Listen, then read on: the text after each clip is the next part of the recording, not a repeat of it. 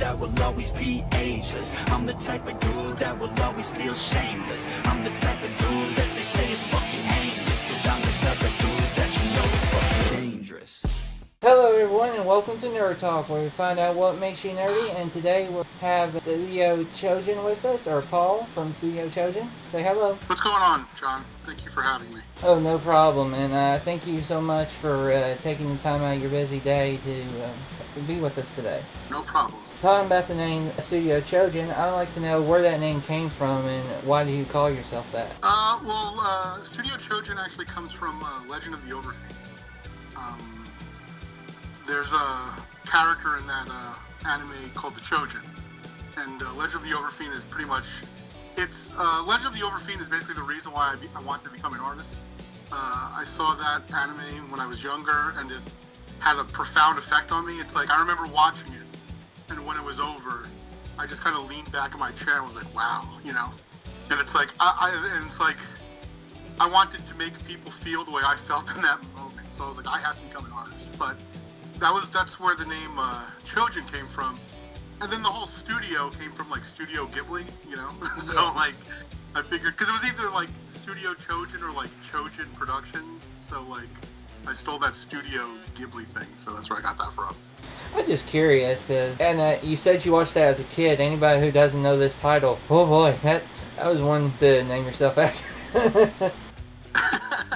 but, Well, I mean, that's why. I mean, that that movie. I mean, I was like, I, was, I mean, I was too young to watch it. I was probably like 14 when I saw that movie. But you know, up until that point, the only animations I had seen were like Batman the animated series and Tiny Toons and things like that. So I mean, like that movie really like opened up my mind to like what was possible in animation and that like you know you can go anywhere and do anything you know and so you know that was kind of my inspiration that, that's cool to know. Uh, this one uh, might sound a little difficult for me to express, but I the first time I saw your videos was when you talked about Bennett the Sage, and I know that's a weird thing to talk about, but you talked about some of his videos and how much they ain't uh, disagreed with it, but you did it in a very respectful way, and I'll put that out there right now. You did it in a very respectful way. But what? Well, I guess kind of, kind of a respectful way. I, I do take shots at him. Yeah, but I do think it was more respectful than uh, earnestly arguing at him. Is but I do want to know what led you to make like a full video about the man instead of just like, hey, there was at this point in time two full videos arguing with some of his earlier reviews. Um, I think it started um, because in my Street Fighter video, I had a little clip of him in it. Yeah. Um, and so like I had yeah, it was a little clip of him where he was talking about you know like if all you want is action, you know why not just play the game?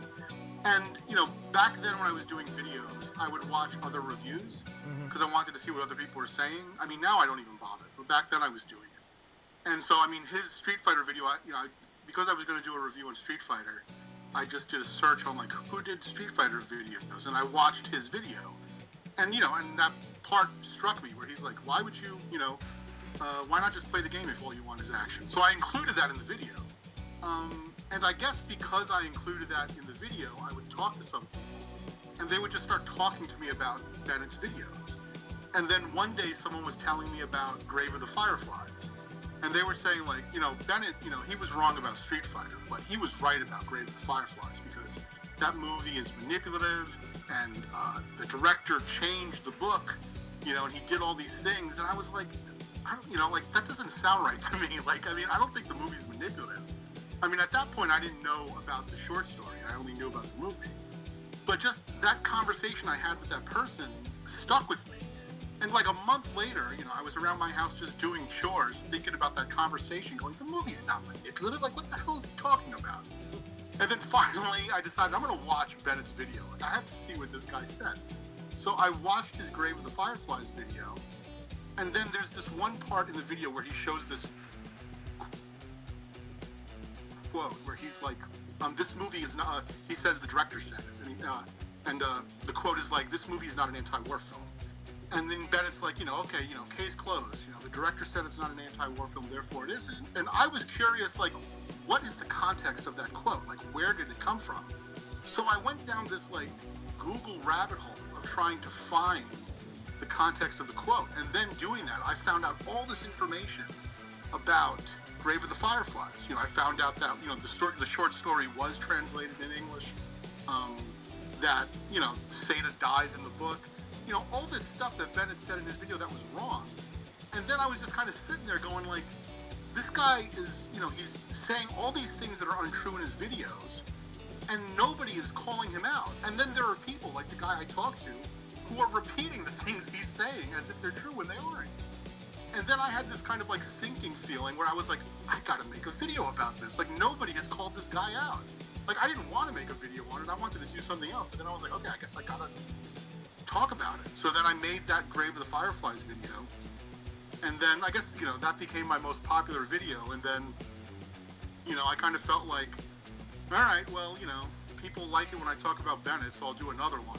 And then, you know, the the two the two requests I always got were for uh, me to respond to Evangelion and Akira.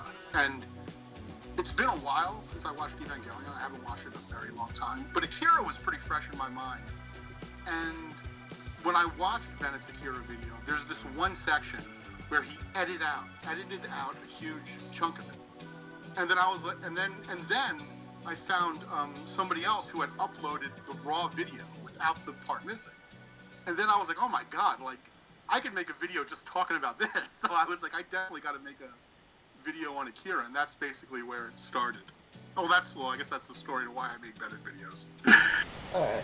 Like I said, that's how I first uh, saw you, and like I said, I felt like you did a very respectful job of voicing your respe- uh, your respectful disagreement with him and everything. So that's why I'm saying. I appreciate that. I mean, I do, I do, I do make fun of him in cases. Like I do call him dumb, but I'm doing that because you know, I mean, I'm gonna show my age here, but I mean, I grew up listening to Howard Stern you know, '90s, and Howard Stern would, you know, he would talk about old, other radio shows. He'd make fun of them and how terrible they are, and that's kind of where I'm coming from. Where it's like, you know, I am trying to be.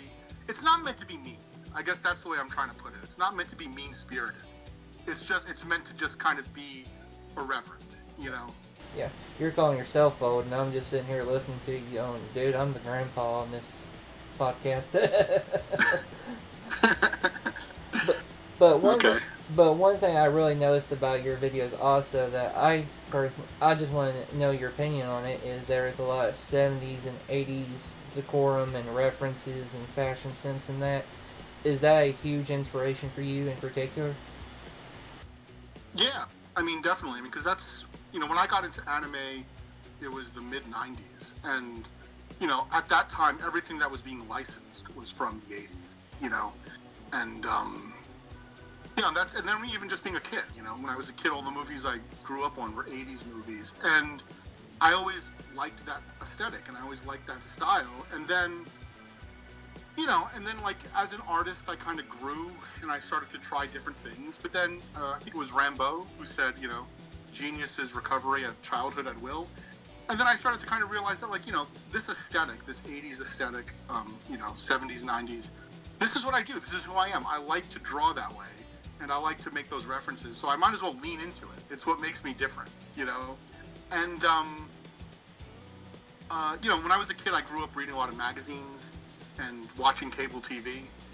So in my videos, I mean, that's why I'll put clips in, like random clips, because I want it to kind of feel like you're, you know, you're flipping through a magazine or you're flipping through the channels on a, on a TV. Like, you know, so like in the in the Akira video, there's this one section where I, I show uh, these uh, JAV idols and I do like hot chick break and I put like text on the screen. And that to me was to try to just create the feeling of like a magazine, you know, like flipping through a magazine and then, oh, here's a picture of a girl in a bikini, and, you know. And then when you flip the page, then there's a Mortal Kombat ad, which is why I put a Mortal Kombat commercial in there. But it's like, you know, it's all trying to recapture that feeling of like when you were younger, like the way, you know, like there was a magic to entertainment and media when you were younger. It kind of, kind of, like that feeling kind of goes away, I think, over time, and you spend your entire adult life trying to recapture that. Well, for some. I'm sorry if I'm rambling. I hope this makes sense to people. Oh, I'm sure it does. Because for me personally, like, I'm old enough to like what you're saying about flipping through a magazine or channel surfing and everything. Like, I'm like, Mhm. so many people who want to capture the nostalgia feel of the 2010s are just gonna have a web page just scrolling down. That's true. like it's gonna be so idiotic, but that's gonna be like the nostalgia button. Like, oh, I remember that. I'm gonna be like, I'm sitting over there with my cane in, in one hand, going, "You dang kids don't know nothing." Yeah, exactly. Well, that's even like, um, you know, like lately I've been, uh, lately I've been, uh, I can't talk. Lately I've been like obsessed with like old school video stores. You know, my mom. I mean, that's how I got into anime. My mom worked in a video store, and she would just bring them home for me. But uh, you know, that whole like, you know, because like back in the day, you had movie theaters that would show, you know, mainstream movies, and then you'd have video stores that show all the weird like made for video like full moon movies and stuff like that. And then like in you know in my the video store I went to it had the largest foreign film section in New York. And you know and there were all these cool posters of foreign movies and like even the anime posters and it was such a cool aesthetic you know and I've been trying to figure out how to like I don't know capture that feeling and incorporate, and incorporate that into my videos Talking about uh, capturing a feeling, I remember seeing this on your Twitter, and I, I'm going to ask if you have it. It was the Dominion Tank Police poster with the cat person. You do you have that? no I I do not have that poster I want that poster but that like I that poster is one of those posters where like that was my introduction to anime Okay. um, the video store my mom used to work at, uh, the video store my mom used to work at, that poster was actually right next to the door Mhm. when you would walk in. And I remember I used to walk into the video store and like that poster just captured my imagination. And like, you know, I didn't like I didn't know anything about anime or the Dominion Tank Police or Masamune Shirow, Mhm. but I was obsessed with that poster. And it's like I wanted to like ask my mom to bring me home the movie, but I was afraid because it was like these like sexy cat girls. I would be afraid she'd be like, "Oh no, I don't want you watching that." So it's like for like months, you know, I was just uh, like I would like imagine what I thought that that show was like, and then it wasn't until like um, it was really the Guyver because at that time the Guyver movie had come out uh, with Mark Hamill, and my brother was obsessed with that movie, and so he would watch that movie over and over again. And um, my mom was like, "Oh, you know, we have Guyver cartoons in the video store. You want me to bring them home?" And then we were like, "Yeah." And then she brought them home, and those those shows were awesome. And then she's like, "Oh, there's a whole bunch of these Japanese cartoons." She's like, "If you want to watch them," and then that's that was my door into it. And then she, you know, I, once I knew she would let me watch them, then I, you know, that's how I started watching it. But yeah, I love that image of the Puma twins from the Dominion Tank Police. I mean, Masamune Shirow is he's one of the best artists around. Yeah. Look, you had a very good open door then to like expand your horizons because believe it or not, I grew up uh, and live in a very small town, and uh, so the most we have access to anime is basically like whatever's at the video store. and uh, Mhm. the one video store we had around my town, they would tell the parents and everything that had report cards when I was little, like, hey, if your kids get at least two A's, they can pick up one movie for free down here. And I'd be like, Mom, Mom, I got my two A's. And uh, they would have like the, the smallest section, like just two shelves and no, but anime. And one day they were closing down, and they're like, "Well, your kid's buying this the whole time." I was, they're like, "Do you want this?" I was like, "Can we get it, mom?" And my mom was like, "How much?" And they were like, two hundred dollars. And I was just like, "Mom," and she's like, oh my god. "That's too much money." And I'm just like, "Ugh." and I missed out on owning at the ti age of twelve. Uh, uh, what was it like? Uh. Akira, Bubblegum Crisis, uh, all the Pokemon Oh my TV God. shows. Like I missed out on having like a huge collection of shit. Yeah, no, that's. I mean, I had a similar experience where, like, it, the video store my mom worked at. I mean, they were open up until like 2012, and they actually had all the anime that they ever had in storage.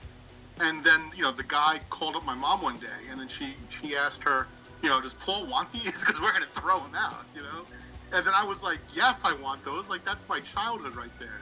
And then, you know, I kept putting off going down there to pick them up. And then, um, you know, in New York, we had this huge hurricane, Yeah. and the video store was right by the water, and the, you know, the, the video store got destroyed, and all their inventory got destroyed, and all those movies were lost. And I was kicked myself, saying I should have went down there and picked up those movies. Oh man, know, that that's hard. Oh man. know. This is one thing I noticed. Uh, it was just one little video, but I remember you in the video gushing constantly about the character. But it seems like you're a big uh, Godzilla, or at least to my knowledge, God Kaiju fan. Is that accurate? Am I assuming that? Like, Yeah, I love uh, Godzilla movies. You know, the Tokusatsu movies. I mean, I've been getting more into like, uh, like Kamen Rider and Ultraman because, like, for a while I didn't really know a lot about them, and it wasn't until you know I got older I've been getting a little bit more into it. Uh, you know, I was I went through this phase where I was trying to watch the entire, the entire like series of Kamen Rider Black, but there's like so many episodes, so I have to finish that. But um, yeah, no, I really love Godzilla. Um, I guess that just kind of goes back to being a kid. I love monsters. I mean, that's.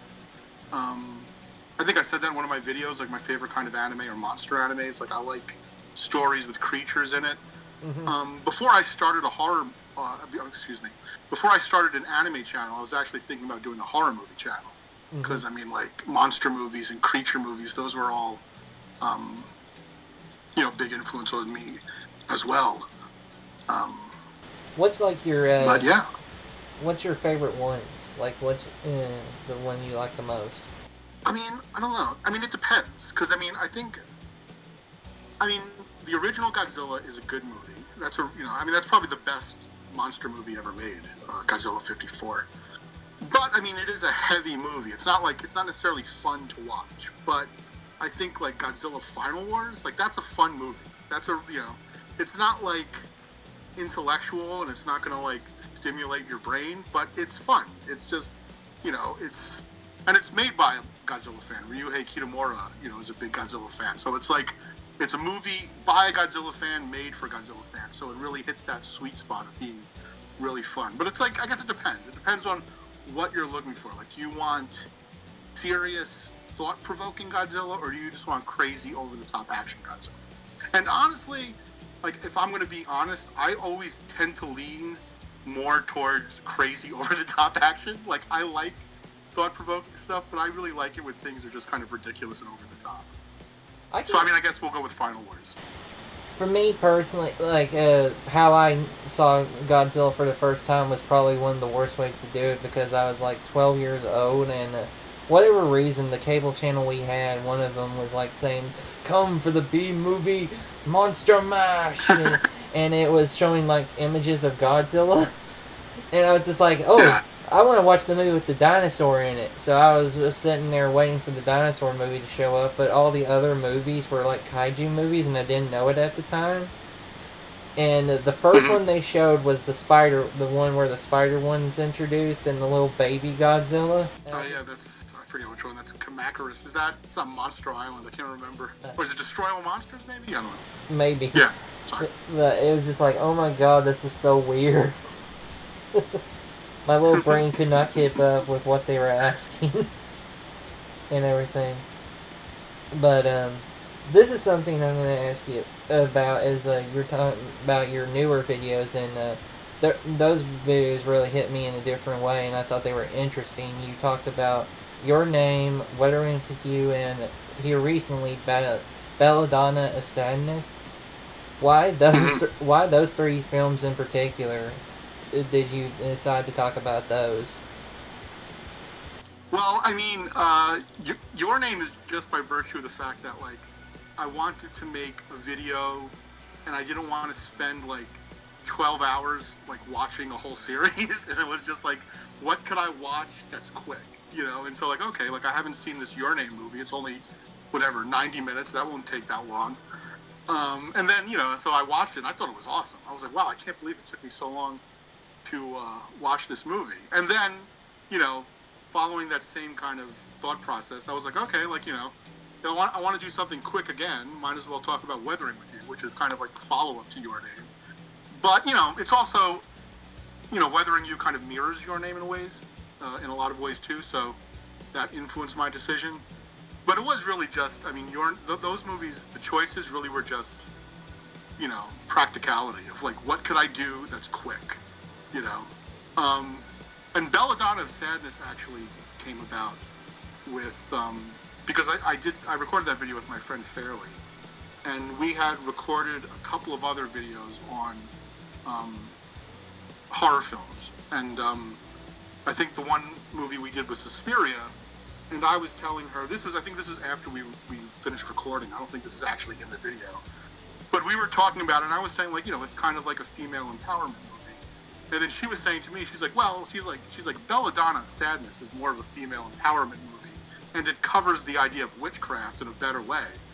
And then I just said to her like okay you want to talk about Belladonna Sadness? Then she's like yeah let's do that. I'm like all right you know and then i guess that kind of caps off our our uh, conversations on female empowerment but it's just like i mean a lot of it is you know a lot of the choices sometimes are just practicality of like what is something i can do that i know or something that's quick um, you know because i mean as you probably know sometimes it's hard to find time to make videos and i've been meaning to do a video on Ishuzoku Reviewers but it's like you know i gotta clear a whole day to watch all of it but you know so Yeah. you know Well, I, sometimes it's just what what i'm sorry no, it's fine. I was just saying, like, for me personally, like, as an older anime fan and everything, I'm like, okay, I'm, your name, that's a good one to uh, review. And then it's like, what a review? It's like, oh, the follow up to your name, that's a good review. And then, like, I see Belladonna Sadness, I bust down the door, like, who knows this title and where did you find it? yeah well that's i mean that's that's a you know that's like i mean i guess i don't know it's it's kind of obscure but it's not as obscure as you think it is like more people i think know about it than you think know about it you know Well, like the weirdest one for me to find that was like in that same vein of Best Belladonna Sadness was like accused of being was called like Weather Girl, and I, I just found it randomly in somebody's uh, garage sale, and I was like, "You mind if I take this?" And he goes, "Like, "Take it for a dollar," and I take it home and watch it. And I was like, "Best dollar ever spent." Well that's what weather weather report girl that one yeah, where she's like doing the weather yeah okay because I knew about that one slightly, but I was like, uh, because I have an encyclopedia of anime, and someone was like, oh, this one's supposed to be sexually charged, and I saw the cover, and I was like, yep, this one's weird. there's supposed to be a live action movie of that which i've been trying to find but i haven't found it yet It would probably be an easy one to do, and I can see it being very funny to do too. yeah, no, those are great. I mean, those are my favorite anime, or just the ones that are kind of ridiculous and over the top. I mean, that's that's what I kind of want to do with my channel. It's like I feel like you know, because I mean, honestly, I really don't feel like I don't know. I, I don't really feel like sometimes my personality really comes through completely in, in the channel. You know, because I am just kind of like, okay, you know, what what's something easy I could review? I'm not necessarily always reviewing stuff that are important to me or mean a lot to me. And it's like I've been wanting to do more of that, you know. So like review titles that you know that I'm really into. So like, I mean, I've been wanting to do one on the Guyver and Urotsukidoji, but then like the problem is, is that like you know, you know, I love those movies so much that I want to do these big like epic mega videos on them, and then like you know, you kind of start to like it becomes like this sort of self-defeating thing where it's like okay like where am i going to begin on this amazing mega video you know?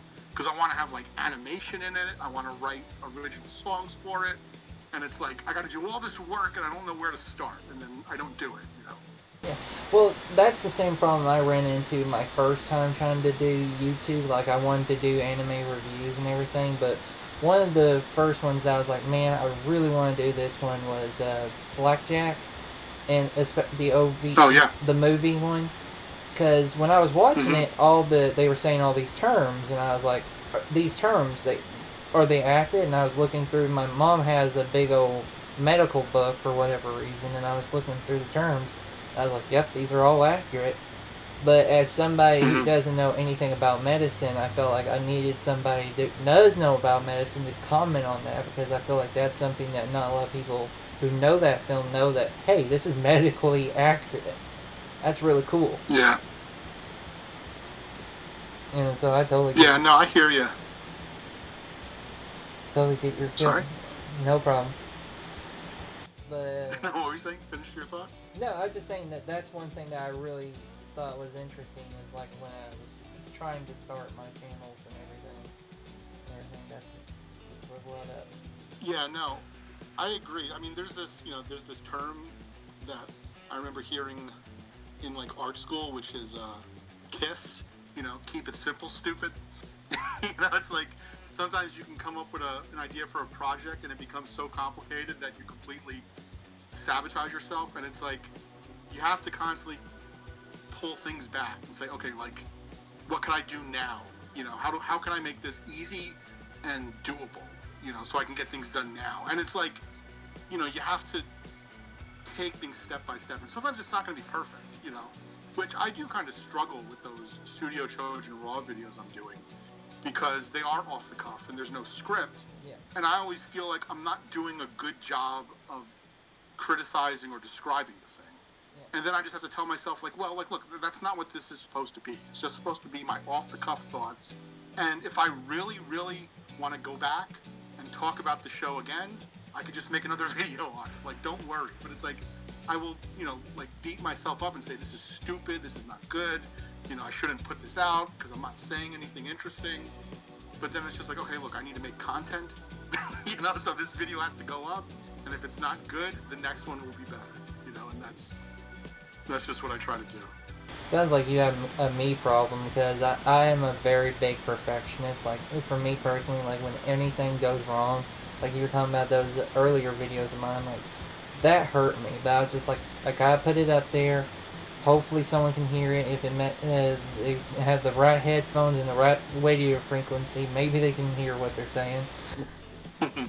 yeah. But uh, No, yeah, no, that's you know, I mean, you know, that's I mean, I used to work at uh, Marvel Comics. I was a production artist, yeah, and what I learned from working there was that, you know, problems are going to come up, you know, and you have to figure out a way to power through them, and just you know, and get to the next thing.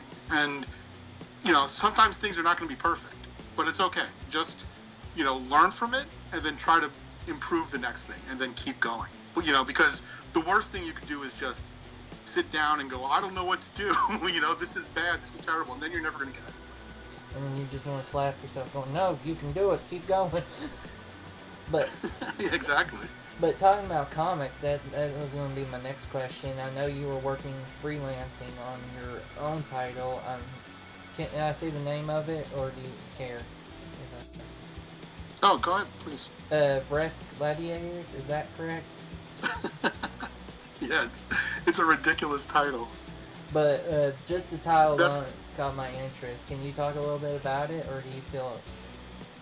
Yeah, no, I'm, I'm happy to. Well, I mean, I guess you know the title, the the origin of the title, actually comes from an episode of Married with Children, where uh, Al Bundy has this uh, movie called I think it's Breast Monsters from Jupiter, you know, and then like he wants to watch that movie, but they don't want to watch it. His wife doesn't want to watch it. She wants to watch something else. And then I think it's like Beaches. So then he's sitting there watching Beaches, and then he's thinking to himself like, "Oh, this movie's terrible. I wish I was watching Breast Monsters." You know, right now in Breast Monsters, the breast gladiators would be doing battle with the liquid cheese. And I don't know why, but that that line always stuck in my head. And like I would just start to make that movie in my brain of like what I thought breast monsters from Jupiter would be with the breast gladiators. And so like, you know, just one day I'm just sitting here like drawing and I'm like, I'm gonna draw breast gladiators. Like this is what they look like. And then I just started to like come up with a story for it. And then eventually, you know, now I'm making a comic. And then it's like, okay, like, you know, I'm gonna make a comic out of breast gladiators. And then I remember calling up my friend saying like, "Hey, I'm gonna make a comic and it's gonna be called Breast Gladiators." And then he's like, "You gotta change the name." he's like, "You can't call it that." And I'm like, "Yeah, I know." I'm like, "I'll come up with something better." But then, like, I was trying to come up with different names, and you know, like, any name I came up with just sounded generic. You know, if I called it like Tale of the Thunderblade or, uh, you know, I don't know, you know, Barbarian Babes from Beyond or something. Like it just everything just kind of felt like been there, done that. Where it's like if I called it breast gladiators, that got people's attention. And I remember saying to my friend, I said, okay, look, I said if I sent you a link to breast gladiators, or I sent you a link to Tale from the Thunderblade, I was like, which link would you click on? He's like, I would click on breast gladiators. I'm like, yeah, that's it. I'm like, we got to keep the title because that's the better title. But um, one of the things I like to do is I like to do ridiculous stuff like that, um, and I like to keep I like to treat it seriously. So the comic is called Breast Gladiators, and it's about these these barbarian girls with these anime barbarian girls with giant boobs, but you know there is a serious story there, and I spent a lot of time like you know like building the mythology of everything and building the characters and thinking about the different arcs and what things mean because I think I don't know. To me, that's interesting. I mean, it's almost kind of like Legend of the Overfiend because Legend of the Overfiend is kind of like ultra violent and ultra sexual, but there is a story there, and that's that's what I want to do. I don't want it to just. I want people to think it's just going to be a, a, silly like ecchi uh, fan service um, comic, but th- I want them to check it out and then realize like, no, there's actually more here. This breastplate gladiators comic is actually pretty interesting. I don't know. The way I'm hearing you pitch it, it's like you see the sh- on the shelf, you're like, I want to read this because of stuff, and then you read it, and you're like, why do I feel things in my area where they feel things? Well, that's it. exactly. You know. But but you know, it, I guess you know, I guess it kind of worked on you. You you were intrigued by the title. that just stuck out to me on my Twitter feed. I was just like, I wonder what everybody's talking about today, and you, I saw your tweet, and I was just like, okay, I have to ask about that because that's just pulling me in. I'm like, what the heck? well, the subtitle of it is Into the Never. And so, like, I always thought that, you know, because I wasn't sure exactly if you wanted to talk about it, but, like, if this was going to be, like, a super clean show, I wouldn't call it Breast Gladiators. I would just say it's called Into the Never. you know, it's like, so it's not. It's I not tell that people weird. they can cuss on here as long as they uh, don't make it like every other word. So, Uh, yeah, I mean, I have, to, I, I, have a, I have a bad habit with that. Like, especially if you look at like some of my older Studio Chojin Raws, like everything is a curse, and it's like, oh my god, I curse too much.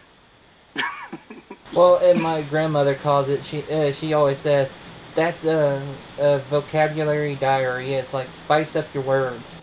no, it's true. It's, it's a crutch.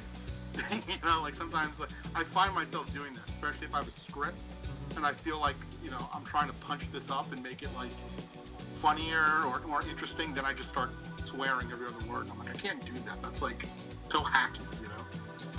Well, uh, I don't know if you've ever sat and uh, watched the behind the scenes stuff of it, but it dropped me right in the head was um, BoJack Horseman was talking about how they wrote out their seasons, and they always asked like, well, there's only one f bomb in every season. Can you explain that? And they said, sure.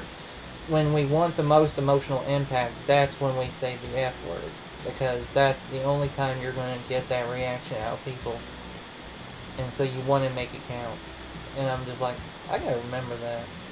No, that is true. I remember, uh, I think George Carlin said something like that. You know, it's punctuation. You use cursing as punctuation. When you want to emphasize a certain point, that's when you use a swear word. This one is going. I don't know if you remember this. You were talking about this one in particular, but it was uh, the Children of Sidonia. I think that was the name of it. You were talking about doing like a whole What is co- Uh, the whole comic review of Children of Sidonia or that. Because as soon as you said it, I was like, I think I know that title because I looked through my whole comic book collection and I found like five issues of it. It was the supposed to be like a woman in the uh, post-apocalypse, and she was like trying to like raise an army, I guess. I mean, are you talking about Legend of Mother Sarah? That's it. That's it. yeah, Legend of Mother Sarah. Yeah. Because I had I have five copies of uh, comics of that when they made manga into individual issues for whatever reason. hmm And I had a couple of those, and as soon as you said that name, I was like, "There's more of these." Uh, yeah. but uh, Well, I mean, yeah, that's that's something I wanted to talk about because I wanted to start doing some manga and comic reviews. And um, Legend of Mother Sarah, you know, it's uh, written by Katsuhiro Otomo, who did Akira, and there's no like anime adaptation of it, and nobody really talks about it. Everybody talks about Akira, and that's about it.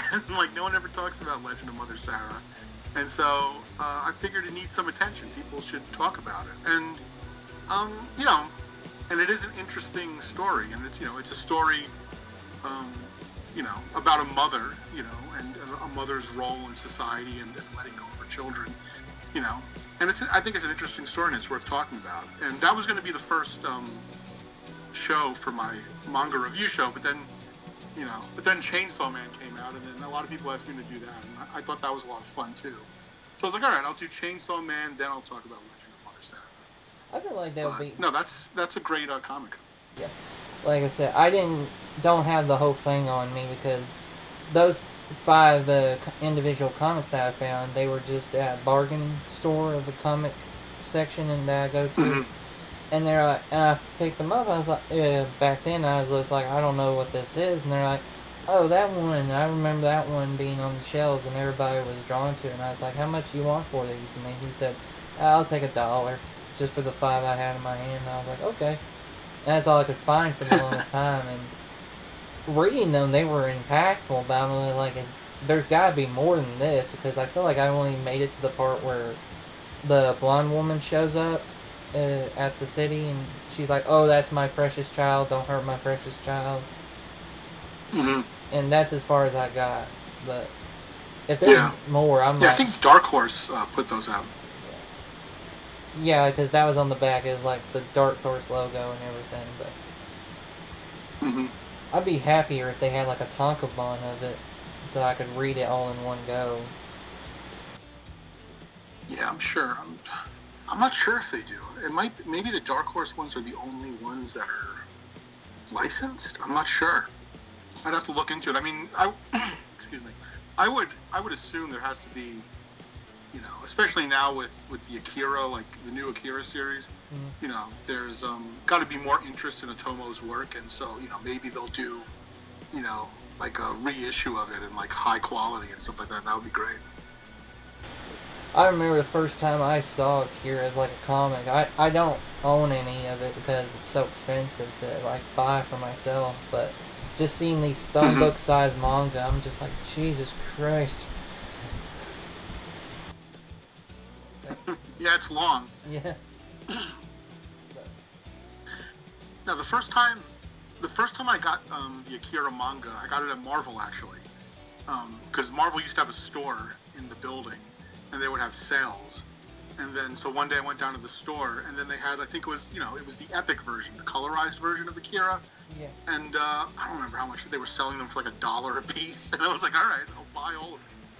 You're like done. That's cool. But I just figured I'd bring uh, bring that up because that definitely piqued my interest when you said that. Because uh, as soon as I said, you heard said that name, I was just like, wait a minute. I was looking. I was like, oh, I can't wait to hear his video on this one.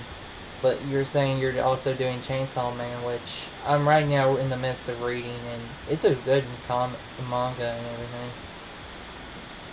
it's fun. You know, it's a lot of fun. But I think, you know, Chainsaw Man will be cool, and then, you know, we could talk about the, you know, I could do a video talking about the craziness of Chainsaw Man, then we can make another video that's more thoughtful talking about Legend of Mother Sarah. And the cool thing about Legend of Mother Sarah is I already started writing the script for it, so, you know, it's one less thing I have to do, so it'll definitely get done. I'm gonna try. Like I'm trying to, I'm trying to make like this year, you know, really try to pump out a lot of content. So, Yeah. um, hopefully, I get a lot of stuff done this year. Don't overwork yourself. That's all I gotta say. Well, I mean, I have the, I, I underwork. yeah, this is one thing I want to ask you about Chainsaw Man in particular because when I was reading it, I have a Sure. strong feeling of it. It reminded me a lot of Devil Man. Does it to you? Yeah, yeah, yeah, yeah, definitely. Especially with like uh, the bomb girl, she was kind of like Siren, Yeah, you know. because the whole time, Yeah, no, I agree. The whole time reading, I was like, this has got strong Devil Man vibes. Oh, definitely. Yeah, it definitely feels like a like an updated version of Devilman. Um, I mean, especially even now, like when you think about, like, I haven't, I still haven't read the ending yet. I, I think I, I uh, I read up to like page, I mean chapter like eighty something. Like I didn't get to the full ending yet, Mhm. But you know it does have that whole like end of the world kind of vibe to it, um, which is you know very Devilman esque. Yeah. But yeah, definitely. I mean, he definitely has that kind of like. I mean, he's kind of like I guess I don't know, like Devilman 2.0. Like if you were gonna reinvent Devilman for the 21st century, he would be Chainsaw Man. because I know they're trying to turn it into a franchise. As far as I've heard online, they're like, "Oh, this is just the first part." And I'm like, "Just the first part? There's going to be more?" And they're like, "Yeah, stay tuned." I'm like, "I will." Yeah, well, I mean, it's got a lot of potential. I mean, I'm surprised it's not bigger. Yeah. You know, I would expect it to be like a lot bigger than it is now. Like I, you know, like Chainsaw Man toys all over the place, Chainsaw Man video games, but maybe all that will come with the anime. You know, the anime will expose it to a lot more people. I don't But know. um, I think it has, you know, it's. I'm sorry. No, I was just gonna say I don't know if an anime is announced yet, but it, when as soon as it does get announced, I feel like that will really hype up the attention it'll get. I think so. I think so. would you say you have a very large anime and manga collection, or do you think your size is reasonable? Yeah, I mean, I, I lost a lot of it. And we had a hurricane, you know, so I mean, I lost a lot of my stuff Mm-hmm. in the hurricane, unfortunately. Yeah. Um, I did have a pretty big collection, and now it's like you know, it's modest. You know, it's it is a pretty kind of modest uh, collection now, so it's not it's not like super huge. Um, you know, I mean, I definitely don't have enough room for it. Like, you know, I have, you know, like it is it is kind of kind of annoying. I mean, sometimes I end up just having to download stuff Mm-hmm. because I can't find anything. you know, it's like I'll have a movie and I know I have it, but I don't know where it is. So then I'm like, I'm just gonna download it because I, I don't know where the movie is in here. But you know, it's it's a decent sized collection, but it's big enough that it's a little unmanageable. If you didn't lose some of your collection in the hurricane, so I'm sorry for your loss on that front, but if you uh, kept I everything that. from that point onward, would you say you're like, okay, this is too much? well, it's never too much, but it would have been it would have been good. It, it would have been perfect. You know. You know, I mean, and I have, I mean, a, a couple of things. I think, um, I don't know if somebody stole something from me or if I lent out movies to people and they never gave it back to me. But recently, I have the, um, you know, I have the first issue of the, the whatever, I don't know how you want to say, it, the first printing or the first release of the La Blue Girl DVDs. Oh wow. Um, and I, I went to the box set and I opened them up, and the DVDs are all missing. They're not in there. And I was like, what happened to these DVDs? Like, did I, did somebody steal them from me? Did like somebody come in my, you know, my entertainment center and take them, or did I lend somebody this, the movie, and did they not give me the movies back? Like, I don't know what happened to them. But what sucks is that this um, release I have, it's out of print. oh, You know, they don't make it anymore. And then I, I tried to find it on Amazon, and it's like three hundred dollars, and it's like, oh my god! Like I think I got this for like fifty bucks at the time. Jesus. But you know that that kind of annoys me. I feel like the one thing in my collection that's similar to that one in terms of uh, weird quality uh, price tag is um, the original uh, Outlaw Star print when that came out. Okay. I found it just out like Okay. a bargain bin, and I was like, "How much do you want for this?" And he's like, "Oh, that one's a rare one." I was like, "Well, how much?" And he was like, 50 dollars." And I was like, "Okay." I had the fifty dollars, and I took it home, and I looked at it online, and it because he was the box itself was a bootleg box, and I was like, "Okay, Yeah. it's bootleg though, dude." So he sold it for me for fifty, but he put in the wrong DVDs. He gave me the English print DVDs, and the English print DVDs were selling for like a hundred dollars at the time. Mm-hmm. And I was just like, score! well, that's good. You made out. Yeah. But um, that's Yeah. always fun. But one more. Well, I remember like go right I'm ahead. sorry. Go right ahead. Tell your story. No, I was gonna say I, I remember when I was a kid, the comic book store was actually they were selling off all their anime VHS tapes. hmm and uh, they were like really cheap. They were like 75% off. So they were like five bucks a cassette. And I remember I bought all the Violence Jack movies. And I was like, I was so happy I had Violence Jack. And then when I started watching them, it was the censored version. And I was like, oh man. you know, like I got the censored version of Violence Jack. Oh, just hearing that title makes my stomach turn a little. I watched the uncensored version. yeah, well, you know. I don't own it. Uh, it's not in my collection. It was from like a, an older friend of mine at the time. But he was just like, "Oh, if you want to be scared, I can put this in." I just saw the cover. I was like, eh, "It can't be that bad." It's like the title it says, "Violence Jack." How bad can it be? I'm just sitting there as a little ten-year-old Timmy going, "No." Like that. I, I, mean, honestly, I, I don't think that's. I mean, I don't know. It has a reputation for being like one of the worst, but I don't think it's that bad. I mean, well, I've seen much worse than that. I'm kind of scared. but I remember. well, maybe I've said too much now. But I remember, uh, like the first time watching it, and that sign said "Evil Town." I was like, "Yeah, no shit."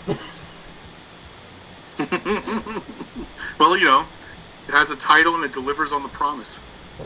Yeah, you, you can't say it didn't like to you. But uh, there's one uh, one thing I'd like to ask you about. Uh, you were also talking about doing like off-brand reviews like, and everything. Can you explain that a little bit? What was it? Say that again. You were uh, talking about doing off-brand reviews at one point in time. Also, can you explain that a little bit too? I can't hear you. What is it? Off-brand reviews? Off-brand.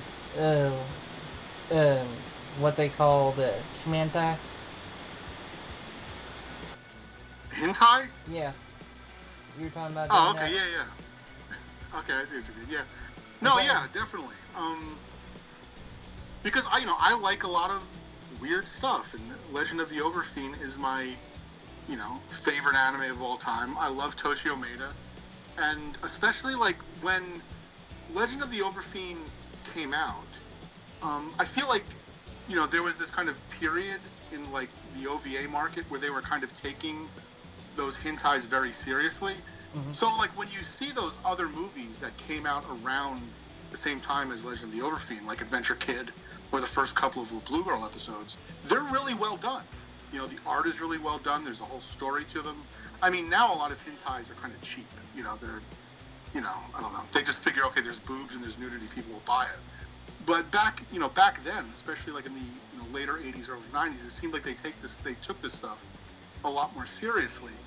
And so there's you know there are tons of titles out there that i think are really cool that you know are worth talking about. And especially you know for me like uh, rin shin you know uh, he's one of my favorite character designers.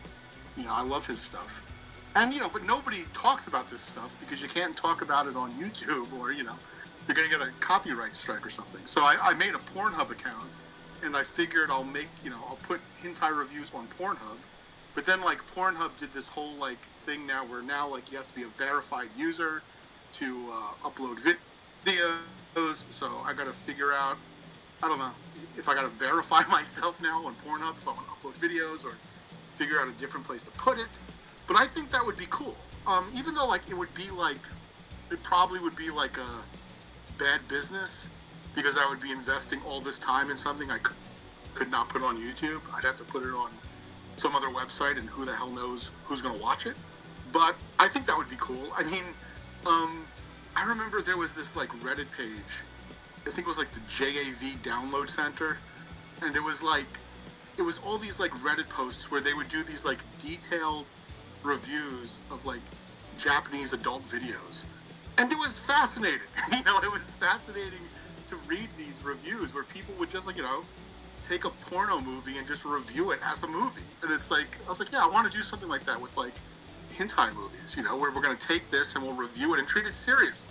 You know, because um, Robert Crumb, um, you know, the artist was a big influence on me, and I always loved that kind of aesthetic of Robert Crumb. The fact that he is so absurd, but I mean, he's also a very kind of you know serious artist and thoughtful artist. And I just love that aspect of just kind of taking the ridiculous serious or taking things that people don't think should be taken serious seriously.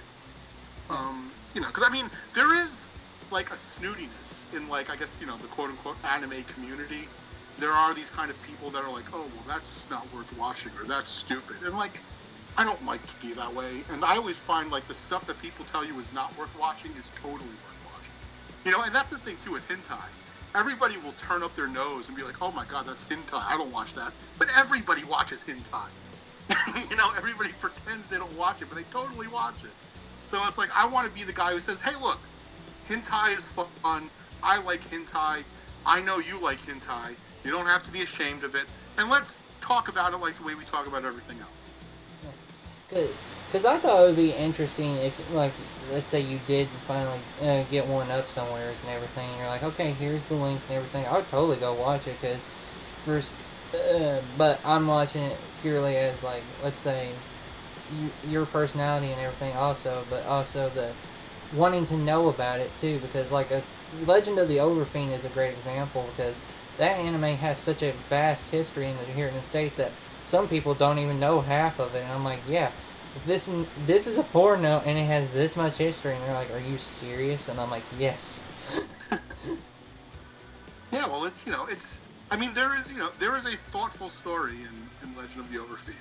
I mean, the later um, uh, OVA releases, they kind of just you know, it does kind of just devolve into like tentacle porn. Mm-hmm. But the first like the first three like there is an there are actual ideas in there. It's it's a story that is about something, and nobody really talks about it. I mean, I think one person beat me to the punch. Somebody on YouTube made a Legend of the Overfiend review, which annoys me. But that's my fault for taking so long to make it. but my review will be better. I will make a better Legend of the Overfiend review, hopefully. I don't know if you knew about this or not. Uh, talking about this, that one in particular, but I don't know if you know about this. But VH1 did a compilation of the 100 greatest animations ever. And Legend of the Overfiend, I think, had the seductive number of 69.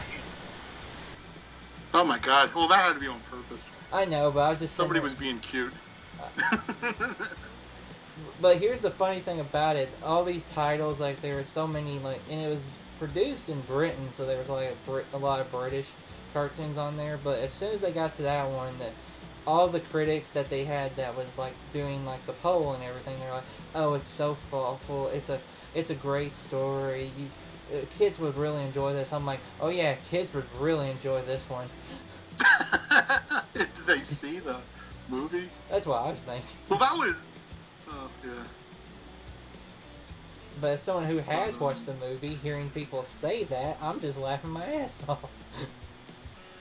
yeah, it's like I don't know. Did you watch it? I mean, I don't. You know, I, I mean, I was too young to see the movie. I was 14, and I watched the movie anyway. But uh, and it had an effect on me. Like, if I had seen that movie when I was older, it might not have affected me the way it did when I was younger. I was. I mean, it is weird to sit there and say I was the right age for it because I was I was 14 years old. But I mean, like, as a 14 year old kid, it was like everything I ever wanted to see in a movie, where it was like super violent and there were all these naked girls and these monsters in it and it was just like blew my mind. And especially you know when i was a kid people take for granted now because you can see all this stuff now. But back then in the 90s you didn't see cartoons like that. And it was like oh my god this is the most amazing thing i've ever seen. And it's like and that's why i wanted to be an artist. I was like this is what i want to do. I want to make stuff like this. Yeah, it's so weird to me, like, because uh, I got into anime especially because of how free it was compared to American cartoons because anytime I was watching like something from the 80s or especially the early 90s, I'm like, this is good in some ways, but I'm just losing my mind. And then I'm watching anime, I'm like, holy shit, they're actually doing this stuff. yeah, exactly. I mean, it was crazy. I mean, I, like people will, you know, we're, we're gonna sound like two uh, old men here, but it's like you know, people like kids today aren't gonna, you know, understand like how like when anime first came to America, how mind blowing it was to be like, oh my god, these cartoons are incredible. You know. Well, my brother's the right age to watch all these streaming shows now, and he's like, like well, Bubba, I know you like this kind of stuff, but I don't really get it. I'm like, hold on, buddy. Let me get you one. And I pull out like this old VHS of um, Battle Royal. He goes, what's that? And I go, mm-hmm. something you're going to love and he puts it on. he goes, I don't get the muscle combat at all, but I do like it. well, there's like I don't know. There's like a certain I guess I don't know. I mean, I hate to be this guy because I'm somebody who loves digital art, but there was a certain like texture to like the original like 80s anime. You know, they were all drawn on cell with acrylic paint, and there's just I don't know. There's this there's this feel to it. I don't know. I mean, I, I guess some of it has to do with the color too. I mean, one thing I kind of noticed in a lot of older anime is the heavy use of black.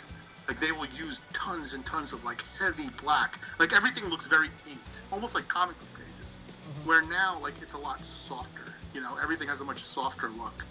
Like you know, so I mean, like I don't know, it doesn't have that feel sometimes. The newer stuff, you know. Well, the best way I describe it to people is like the newer stuff with digital art feels like a nice blown up uh, pop art painting, but the older stuff feels like a, an old huggy blanket.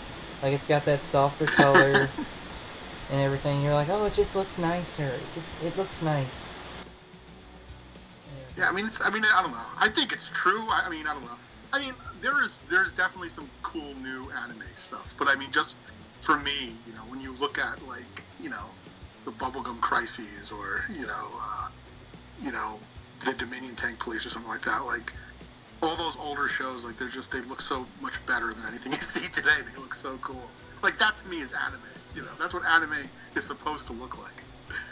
Well, uh, like you're saying, trying to not sound like an old geezer, but any, everybody who's online and praising Jujutsu Kaisen and everything, and I'm just sitting here with my old school anime, and I'm like, they'll never know your greatness. well, that's something too I've been thinking about with my channel. Just like you know, maybe I should focus on doing just old stuff and not even talk about new stuff. But um, but one thing you've been doing a, a little bit lately, and you've been asking for is like commission work as well. How how's that been going for you on that front? It's been going pretty good. I mean, it, it comes in like ebbs and flows. Like there are some some months where I get a lot of requests, and then there are some months when uh, nothing. you know, so I mean, I think it's you know, you know, I guess you know with the economy and everything, and you know, people are struggling. Not everybody has the money to you know buy artwork, so you know, it, it kind of comes and it goes. But you know, I mean, lately. Um, I mean, I've been glad that I really haven't gotten too much commission work because it's given me time to work on my comic and get some stuff done. Because a lot of times, when I'm working on videos or I'm working on, you know, stuff for the channel, whatever, you know, I'll get commission work, and now it's like I have to stop everything I'm doing because I got to do the commission work. So, I mean, that's why, like, even in the last couple videos I've done, Mhm. I haven't really been promoting my commission work because it's like I don't want to turn away work if it comes, but I don't want to like tell people, hey, I'll do commissions for you because right now I'm trying to get ahead of myself with the comic book and the videos, and then you know, down the line I'll start promoting commissions again. But you know, it's it's fun. I enjoy it. I like you know I like to draw. You know, obviously, and it's fun to like draw characters for people and stuff. Yeah. Because, uh, like, the one thing that I'll say as a, an artist myself is one thing that you brought up is the kiss thing, and uh, that really got my attention. But I want to ask you, what is the best piece of advice someone has ever gave you in particular? Hmm. The best piece of advice. I, I guess the, the best piece of advice, I think it was something, I don't know, I guess something I always go back to, which is, um, I think it was, I, I, I had seen this in an interview with Neil Strauss, the pickup artist. And he was talking about uh, what you can't fix, you feature. You know? He was saying, like, you know, you take your weaknesses and you turn that into your assets. He was like, so, you know, if you're a guy with glasses, he's like, don't get contacts. Go out and get a cool pair of glasses and be the guy with cool glasses. You know, or if you're a guy who's going bald, you know, don't wear a hat or, you know, get hair plugs. Shave your head. Be the bald guy. Make that your thing. And, you know, he was talking about that in the context of, like, you know, whatever, meeting girls. But I think that's an idea that extends, you know, anywhere to you know in your art where you know you may think about stuff you know your limitations about the things you can and can't do um, but rather than being what's the word crippled by your limitations turn your limitations into your strengths. You know make that the thing you know that people know you for. So even just like like i'm colorblind. And so like i have a hard time coloring pictures you know. And so, like, for a long time, I struggled trying to color because I have, because, you know, it's, it's difficult for me to do it. And so, but then I kind of realized that, like, okay, no, like, look, I color stuff in like a cell shaded, cartoony manner, and I'm just going to make that my thing. That's my style. I'm the guy who colors things in this cartoony manner, and I don't do like super photorealistic stuff. You know, that's my signature style now. You know, I've I feel like I'm, you know I'm trying to do that, take that weakness. I'm not the greatest colorist, but I'm going to turn that into my strength by making that my style. You know, oh, does that make sense? Yeah, turn your uh, weaknesses into your greatest strengths. I get you. Is there anything else you like to talk about? Um, I don't know. I guess that's it. I guess we covered everything, right? well, I just that's um. uh well. am I? Am I? Am I gonna? Am I blowing up? Blowing up your spot if I ask you about the anime reviews you want to start working on?